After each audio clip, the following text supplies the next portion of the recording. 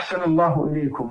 تقول فضيلة الشيخ إذا جمعت أربع ركعات في سلام واحد في صلاة الليل هل هذا جائز؟ هذا غير مستحب. هذا غير مستحب. صلاة يقول صلى الله عليه وسلم صلاة الليل مثنى مثنى. فإذا خشي أحدكم بواحدة فليوتر بركعة. أو فليصلي ركعة توتر له ما صلى. صلاة الليل مثنى مثنى. وكان النبي صلى الله عليه وسلم. يتهجد ويسلم من كل ركعتين. نعم.